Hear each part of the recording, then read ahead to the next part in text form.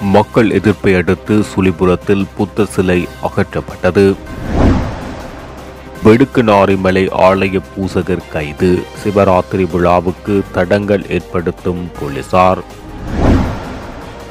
வடக்கு மாகாணத்தில் நிரந்தர நியமனம் அமைச்சரவை அனுமதியை பெற்று தருமாறு பிரதமரிடம் வடக்கு ஆளுநர் கோரிக்கை. வெடுக்குநாரி ஆலய நிர்வாகத்தினரை துப்பாக்கியால் சுட்டு கைது செய்ய உத்தரவிட்ட போலீஸ் நிலைய பொறுப்பதிகாரி. இந்திய இழுவை படகுகளை தடுக்க வேண்டும் முல்லைத்தீவு கடத்தொழிலாளர்கள் கோரிக்கை. மஹிந்த ரணில் பசில் அவசர சந்திப்பு. இந்தியாவின் கோரிக்கையை நிராகரித்த டக்ளஸ் காட்டமான பதில். சர்வதேச நாணய நிதியத்துடனான வேலை திட்டத்தில் இலங்கையின் அர்ப்பணிப்பு பாராட்டப்பட வேண்டும் பீட்டர் புரூவர். யாழ்ப்பாணம் சுழிபுரம் பகுதியில் வைக்கப்பட்டிருந்த புத்த சிலை ஒன்று அண்மையில் சர்ச்சையை ஏற்படுத்திய நிலையில் குறித்த சிலை அங்கிருந்து தற்போது அகற்றப்பட்டுள்ளதாக தகவல்கள் வெளியாகியுள்ளன. யாழ் சுழிபுரம் சவுக்கடி பிள்ளையார் ஆலயத்துக்கு பின்புறமாக உள்ள அரச மரத்தின் கீழ் குறித்த புத்த சிலை வைக்கப்பட்டது. அப்பகுதி கடற்படையினரால் புத்த சிலை வைக்கப்பட்டிருக்கலாம் என அப்பகுதி மக்கள் சந்தேகித்த நிலையில் புத்த சிலையை அடுத்து பீகாரை தோற்றம் பெறலாம் என அச்சப்பட்டனர். இது தொடர்பில் ஊடகங்களில் செய்திகள் வெளியாகி பேசுபொருளான நிலையில் குறித்த புத்த சிலை அவ்விடத்திலிருந்து அகற்றப்பட்டுள்ளதாக பிரதேசவாசிகள் தெரிவித்துள்ளனர். இன்று வெள்ளிக்கிழமை எதிர்ப்பு போராட்டத்தில் ஈடுபட உள்ளதாக தமிழ் தேசிய மக்கள் முன்னணி அறிவித்திருந்தது. இந்த நிலையில் புத்த சிலை அகற்றப்பட்டு விட்டதாகவும் எதிர்ப்பு போராட்டம் கைவிடப்பட்டுள்ளதாக தமிழ் தேசிய மக்கள் முன்னணி அறிவித்துள்ளது. பெடுக்குநாரிமலை ஆதிலிங்கேஸ்வரர் ஆலய பூசகர் மதிமுகராசா கைது செய்யப்பட்டுள்ளார். இன்றைய தினம் சிவராத்திரி விழா ஏற்பாடுகளை செய்த வேளையில் போலீசாரால் கைது செய்யப்பட்டுள்ளார். பெடுக்குநாரிமலை ஆதிலிங்கேஸ்வரர் கோயில் சிவராத்திரி விழா ஒழுங்குபடுத்தல்களுக்கு சென்ற பூசகரையும் இன்றைய தேவைகளுக்காக எடுத்து செல்லப்பட்ட தோரணங்கள் வாழை மரங்கள் தண்ணீர் போசர் போன்றவற்றை போலீசார் தடுத்து வைத்திருந்தனர். பின்னர் ஒழுங்குபடுத்தல்களுக்கு சென்றவர்களின் தேசிய அடையாள அட்டைகள் சாரதி அனுமதி பத்திரங்கள் தொலைபேசிகள் போன்றன போலீசாரால் பறிக்கப்பட்டன. இந்த நிலையில் பூசகர் கைது செய்யப்பட்டுள்ளதாக ஆலய நிர்வாகத்தினர் தெரிவித்துள்ளனர். வடக்கு மாகாணத்தில் தற்காலிக பதிலீட்டு சாதாரண மற்றும் தினக்கூலி அடிப்படையில் சேவையாற்றும் முன்னூற்று எண்பத்தெட்டு பேருக்கான நிரந்தர நியமனத்தை வழங்குவதற்கு அமைச்சரவை அனுமதியை பெற்றுத் தருமாறு வடக்கு மாகாண ஆளுநர் பி. எஸ். எம். சார்ல்ஸ் பிரதமர் தினேஷ் குணவர்த்தனவிடம் நேரடியாக சென்று கோரிக்கை விடுத்துள்ளார். பாராளுமன்ற கட்டிட தொகுதியில் அமைந்துள்ள பிரதமரின் அலுவலகத்தில் நேற்று இந்த சந்திப்பு இடம்பெற்றது. வடக்கு மாகாண விவசாய அமைச்சில் பணியாற்றும் அறுபத்தேழு பேருக்கும் உள்ளூராட்சி அமைச்சின் கீழ் உள்ள பிரிவுகளில் கடமையாற்றும் முன்னூற்றி இருபத்தொரு பேருக்கும் நிரந்தர நியமனம் வழங்கப்பட வேண்டும் என ஆளுநர் தெரிவித்துள்ளார். அவசர மற்றும் அத்தியாவசிய சேவை கருதி சேவையில் இணைக்கப்பட்டவர்களுக்கான நிரந்தர நியமனம் வழங்கப்பட வேண்டும் எனவும் அவர்களின் அனுபவம் மற்றும் துறை சார்ந்த திறன் அறிவை தொடர்ச்சியாக பெற்றுக்கொள்வதனூடாக எதிர்காலத்தில் ஏற்படக்கூடிய அவசர நிலைகளை ஈடுகொடுக்கக்கூடியதாக அமையும் என ஆளுநர் பிரதமரிடம் தெரிவித்துள்ளார். தற்காலிகமாக சேவையில் இணைத்துக் கொள்ளப்பட்டவர்கள் நிரந்தர நியமனங்களை பெற்றுக்கொள்ள காத்திருப்பதாக தெரிவித்த ஆளுநர் அவர்களின் பேர்பட்டியல் அடங்கிய கோரிக்கை கடிதத்தையும் பிரதமரிடம் சமர்ப்பித்துள்ளார். விசேட திட்டத்தின் கீழ் இவர்களுக்கான நிரந்தர நியமனங்களை வழங்குவதற்கான அமைச்சரவை அனுமதியை பெற்றுத்தருமாறு ஆளுநர் பிரதமரிடம் கோரிக்கை விடுத்துள்ளார். வெடுக்குநாரிமலை ஆலய நிர்வாகத்தினரை துப்பாக்கியால் சுட்டு கைது செய்யுமாறு நெடுங்கேணி போலீஸ் நிலைய பொறுப்பதிகாரி அச்சுறுத்தல் விடுத்துள்ளதாக குற்றம் சாட்டப்பட்டுள்ளது. வெடுக்குநாரிமலை ஆலய பூசகர் மதிமுகராசா கைது செய்யப்பட்டுள்ள விவகாரம் தொடர்பில் கருத்து வெளியிடும் போது ஆலயத்தின் செயலாளர் தமிழ்ச்செல்வன் இதனை தெரிவித்துள்ளார். வெடுக்குநாரி ஆலயத்தில் பூஜைகளுக்காக சென்ற பொது பூசகர் உள்ளிட்ட சிலரை பாதுகாப்பு கடமையில் ஈடுபட்டிருந்த மூன்று போலீசார் மறைத்து பூஜைகளுக்கு மின்சாரத்தினை பயன்படுத்த வேண்டாம் என கட்டளையிட்டனர். அதன்படி ஆலய பூஜை ஒழுங்குகளுக்கு சென்றபோது அவர்கள் பயணித்த தண்ணீர் கொள்கலன் வாகனமானது பழுதடைந்துள்ளது. அதனை சரி செய்ய பதினைந்து நிமிடங்கள் சென்றுள்ளது.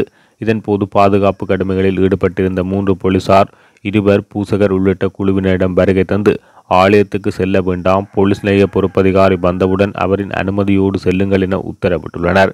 நான் உள்ளிட்ட எங்களது குழுவினர் உளவு இயந்திரம் ஊடாக ஆலயத்துக்கு முன்னதாக சென்று விட்டோம். இதன்போது பின்னால் வருகை தந்த பூசகர் மற்றும் ஆலய நிர்வாகத்தினர் உள்ளிட்ட ஐந்து பேரை அவ்விடத்துக்கு வந்த போலீஸ் நிலைய பொறுப்பதிகாரி அவர்களது அடையாள அட்டையை பிடுங்கி முறையற்ற வார்த்தைகளை பயன்படுத்தி அச்சுறுத்தியுள்ளார். மேலும் ஆலய பூசகரை இழுத்து சென்று வண்டியில் ஏற்றியுள்ளார். இதன்போது ஆலயத்தில் இருப்பவர்களை துப்பாக்கியால் சுட்டு கைது செய்யுமாறு ஏனைய போலீசாருக்கு உத்தரவிட்டுள்ளார். நேற்றைய தினம் கூட மது வழிபாட்டுரிமை தொடர்பில் நீதிமன்றம் போலீசாருக்கு அறிவுறுத்தியது. இந்த நிலையில் போலீசாரின் இந்த அடாவடித்தனமான செயற்பாடு கண்டிக்கத்தக்கது. எமது வழிபாட்டுரிமையை பாதுகாக்க ஒழுங்கு செய்ததன்படி பூசைகள் நடைபெறும். மேலும் கைது செய்யப்பட்ட ஆலய பூசகர் உட்பட எமது நிர்வாகத்தினர் விடுதலை செய்யப்பட வேண்டும் என்பதை வலியுறுத்தி இன்றைய தினம் இடம்பெறும் பூஜைகளில் அனைவரும் கலந்து கொள்ள வேண்டுமென அழைப்பு விடுத்துள்ளார். எங்கள் கடற்பரப்புக்குள் இந்திய இழுவை படகினை முற்றாக தடுக்க வேண்டுமென இந்திய இழுவை படகுகளால் வாழ்வாதாரத்தை இழந்த கடற்தொழிலாளர் ஒருவர் தெரிவித்துள்ளார். போருக்கு முன்னராக இரண்டாயிரத்தி ஒன்பதாம் ஆண்டு காலப்பகுதிகளில் கடலில் மீன்கள் அதிகமாக இருந்தது. அப்போது இந்த கஷ்டமும் எங்களுக்கு இல்லை. மீன் விலையும் குறைவாக இருந்தது. எழுபது ரூபாய் எண்பது ரூபாவுக்கு இருந்த மீனை இப்போது எழுநூறு ரூபாவுக்கு விற்று கூட எங்களால் வாழ முடியாத நிலை உள்ளது. இந்த நிலையில் தற்போது மீண்டும் இந்திய இழுவை படகுகளினால் எமது தொழில் பாதிக்கப்பட்டுள்ளது. மேலும் இலங்கை கடற்பரப்புக்குள் இந்திய இழுவை படகுகள் வராமல் தடுத்தால்தான் இலங்கை கடற்தொழிலாளர்கள் நிம்மதியாக கடற்தொழில் செய்து வாழ முடியும் என தெரிவித்துள்ளார். ஸ்ரீலங்கா பொதுஜன பெரமுனவின் ஸ்தாபகரும் முன்னாள் அமைச்சர் பசல் ராஜபக்சவும் முன்னாள் ஜனாதிபதி மஹிந்த ராஜபக்சவும் ஜனாதிபதி ரணில் விக்ரமசிங்கவை சந்திக்க உள்ளனர். ஜனாதிபதி தேர்தல் மற்றும் பாராளுமன்ற தேர்தலுக்கு முன்னர் எதிர்கால அரசியல் விவகாரங்கள் குறித்து இரு தரப்புக்கிடையில் கலந்துரையாடப்பட உள்ளதாக அரசியல் வட்டார தகவல்கள் வெளியாகியுள்ளன. கட்சிக்குள் நிலவும் பிரச்சினைகள் குறித்தும் எந்தெந்த தேர்தலை முதலில் நடாத்துவது என்பது குறித்தும் மேலும் ஆலோசிக்கப்படும் என தகவல்கள் வெளியாகியுள்ளது. பல்வேறு கட்சிகள் தமது கூட்டணி தொடர்பான பேச்சுவார்த்தைகளை ஆரம்பித்துள்ள நிலையில் பசுல் ராஜபக்ச தரப்பினர் மற்றும் ஜனாதிபதி ஆகியோருக்கு இடையிலான சந்திப்பு பாரிய எதிர்பார்ப்பை ஏற்படுத்தியுள்ளது.